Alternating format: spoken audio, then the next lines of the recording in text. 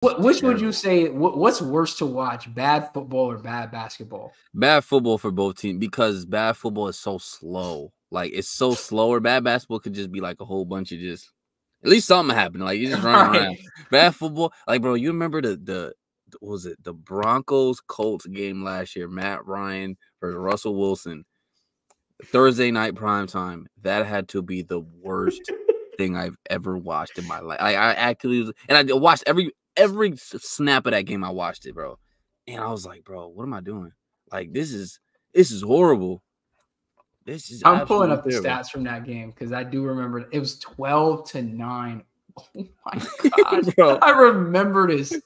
This bro. is nasty, bro. It Yo, if you combined Matt Ryan and Russell Wilson's QBR, bro, 34. it's crazy. Bro, bad, bad football is like, bro, it pains my eyes to look at, bro. But bad basketball, it does the same, but at least it's running around. Like somebody might do something. It might be some action, you know what I mean? Yeah. Some bum might start hooping. You never know. So. Bad football, I think, do piss me off more because it sometimes it's like as bad as y'all are, bro, y'all can't do the simple things like mm. bad basketball, whatever. People could be having an off shooting night. Like it's just tough. Like sometimes the shots don't fall. You could do everything right and it still don't go your way. Bro, y'all be block. You can't. Y'all can't block up basic protections. We can't run the football against any front. Five man box. We still missing assignments. I'm you, looking you, at wide open touchdowns get missed dudes dropping picks. It's just it's everything across the board is ugly, bro. And you know what makes it worse? Because I remember, and it happened a lot in that Colts game. Penalties, like yes, every other snap is a penalty, and that that means we're stopping the game for the ref to you know make the penalty. That at least bad basketball is like it's still like something's happening.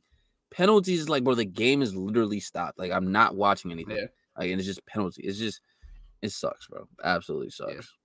15 penalties for this is like 120 yards in this game. See, like, bro, that's crazy to me, bro. And that's that's what pissed me off about the Jets. They would have a good drive and then penalty, penalty. I'm like, God damn, that's so demoralizing. It stops the whole drive. Melvin Gordon was the leading rusher for the Denver. Wow, wow, wow, wow. How far was, we've come.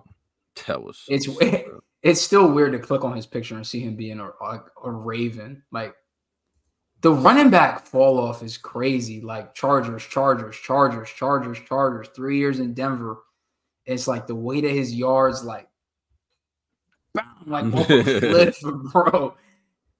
Crazy. Dang, that's tough.